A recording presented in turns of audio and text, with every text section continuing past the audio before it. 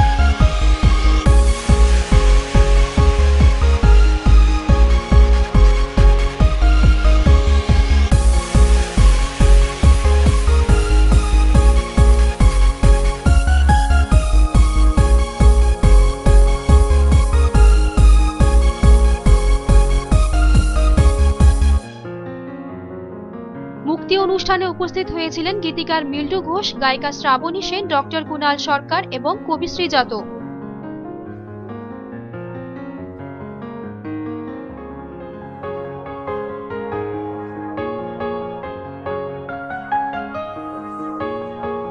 ছোটদের কাছে রবি ঠাকুরের গানগুলি যাতে আরও বেশি গ্রহণযোগ্য হয়ে উঠতে পারে, তারই একটি প্রচেষ্টা গায়িকা শক্তি মুন্সির এটা আমার প্রথম অ্যালবাম, ছোটদের নিয়ে কাজ করেছি। বরাবরই আমার ইচ্ছে ছিল ছোটদের নিয়ে আমি কিছু করব, কারণ ছোটদের নিয়ে এখন কোনো কাজই হচ্ছে না। শুধু রবীন্দ্রসঙ্গীতে নয়, অন্যান্য মিউজিকও ছোটদের নিয়ে কোনো কাজ হচ্ছে না। তো ছোটদের নিয়েই কাজটা আমি করেছি এবং ভবিষ্যতে আমার ছোটদের নিয়েই কাজ করার ইচ্ছা রয়েছে। ছটা রবীন্দ্রসঙ্গীত, যে যার মধ্যে মমচিত্তে, নিতে নিতে তোরা যে যা বলিস ভাই, আয় তবে সহচরী। তো তারপরে কোথাও আমার হারিয়ে যাওয়ার নেই মানা। সবকটাই ছোটদের গান। এরা জনপ্রিয় আপনাদের কাছে মনে হতে পারে, কিন্তু এরা প্রত্যেকেই আমার কাছে প্রচণ্ড ক্লোজ। গৌতম দা শুধু সাংবাদিক আপনাদের কাছে, কিন্তু আমার প্রতিবেশী এবং গৌতম দার সাথে আমার পরিচয়টা খুব অদ্ভুতভাবে হয়েছে, যেটা গৌতম দা আপনাদের ফোনে আমার সাথে গৌতমদার আলাপ, কিন্তু আলাপটা খুবই ঘনিষ্ঠ এখন। আর শ্রীজাতদা আমার কলিগ ছিলেন, সেই সূত্রে শ্রীজাতদার সাথে আমার আলাপ এবং সেই আলাপটা অনেক দিনের, বছর দশেকের আলাপ, সেই সূত্র ধরেই এরা আজকে এখানে আমার পাশে এসে দাঁড়িয়েছে। আমি বলব যে বাচ্চাদের জন্য কাজ হচ্ছে না, বাচ্চাদের জন্য এই সিডিটা আমি বলব না কিন, আমি একজন গায়িকা হিসেবে বলব, কিনতে বলব না, আমি বলব যে বাচ্চাদের নিয়ে কাজ আরও হোক। যারা যারা এখনকার প্রথিত আসা শিল্পী নয়, যারা নতুন শিল্পী যারা আসছে, উঠে আসে, তারা আরও বাচ্চাদের নিয়ে কাজ করুক যাতে বাচ্চারা রবীন্দ্রসঙ্গীত কেন, অন্যান্য গানও যাতে শুনতে পারে। কারণ নতুন প্রজন্ম কিন্তু গান শুনছে না। বাচ্চাদের গান একেবারেই কেউ শুনছে না। বাচ্চারা কিন্তু গান শোনার থেকে বঞ্চিত হচ্ছে।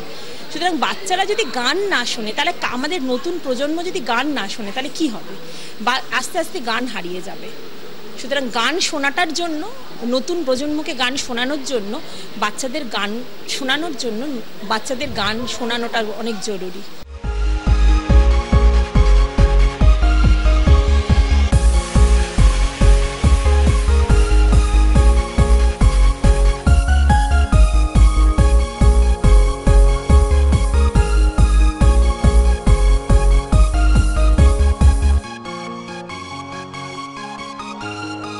অ্যাকচুয়ালি আমার বলার যেটা আছে যে আমি ওকে প্রথমেই সাজেস্ট করেছিলাম যে বাচ্চাদের নিয়ে গান করার জন্য এবং সেটা ও মেনেছে বিকজ বাচ্চাদের নিয়ে কাজ হয় না, যেটা সবাই এখানে সবাই বলা বলি করলাম আমরা। এবং ওর গলার সঙ্গে স্পেসি মানে স্পেসিফিক্যালি আমি যেটা বলতে চাইছি যে ওর গলার সঙ্গে কিন্তু এই অ্যালবামটার মিল আছে। আমি যেটা প্রথমে আমাদের কাজ করি যখন মিউজিক ডিরেকশন করি, তখন ওর গলা নিয়ে সবসময় কাজ করতে হয়, কোন গলাটা কোনটায় কার ভালো লাগবে। তো ওর গলার যে টিম্বারটা সেটা না একদম ছোটদের সঙ্গে ম্যাচ করে। শুনে মনেই হবে যে বাচ্চাদের গানটা বোধহয় বাচ্চারাই গাইছে। তো সেখানে বাচ্চাদের অনেকগুলো বাচ্চা তার সঙ্গে ওর গানটা মানে একটুখানি এরমভাবে আমরা করেছি যে আমি প্রচুর ছেলে মেয়েদের সঙ্গে রেখেছি।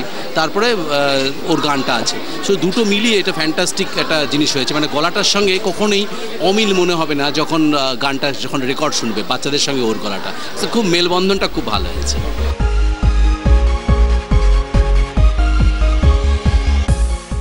খুবই ভালো কাজ, তার কারণ আমি যেটা আগেও বলছিলাম যে ছোটদের নিয়ে কাজ করেছে যেটা চট করে কেউ করে না, আর ছোটদের নিয়ে কাজ করা খুব সোজাও নয়। ছোটরা বয়সে ছোট হতে পারে, কিন্তু তাদের মনের কাছাকাছি পৌঁছানোটা আমাদের বড়দের পক্ষে অনেক সময় কঠিন হয়ে পড়ে। শুক্তি রবীন্দ্রনাথের গান নিয়ে কাজ করেছে কিন্তু কেবল ছোটদের জন্য। এটা আমার ভারী ভালো লেগেছে, ওকে আমার অনেক অভিনন্দন এবং আশা করছি ও ভবিষ্যতেও ছোটদের নিয়ে অনেক কাজ করবে, করতে পারবে।